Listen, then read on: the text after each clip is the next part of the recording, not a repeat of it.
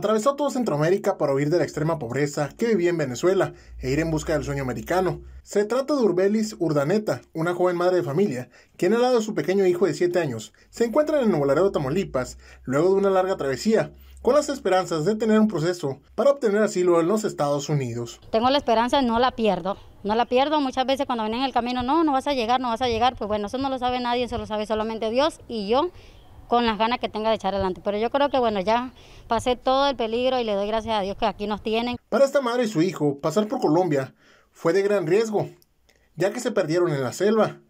Una de las fronteras peores que pasé fueron la de Colombia con Panamá. 15 días duré en la selva con mi hijo sin saber si yo iba a salir con vida o no iba a salir con vida y Dios me ha ayudado, miren, no se me ha enfermado, ni yo me he enfermado. El COVID no, no, gracias a Dios no nos ha tocado ni a mí, ni a mi familia. Además, otro de los motivos que obliga a Urbelis para ir a Estados Unidos es para poder mejorar la calidad de vida de su familia que dejó en Venezuela. Tengo una abuelita de 103 años que siempre ha añorado, pues dice ella, pues morir en una cama digna. Y yo le di a ella que, iba a hacer lo posible. Si tuviera que poner mi vida, pero yo la iba a poner por ella, le dije. Yo le dije, solo le pido a mi Dios que me dé le dé vida a ella porque yo sé que yo la tengo, pero que le dé vida y me dé esa dicha de poderle dar esa cama que ella siempre añora.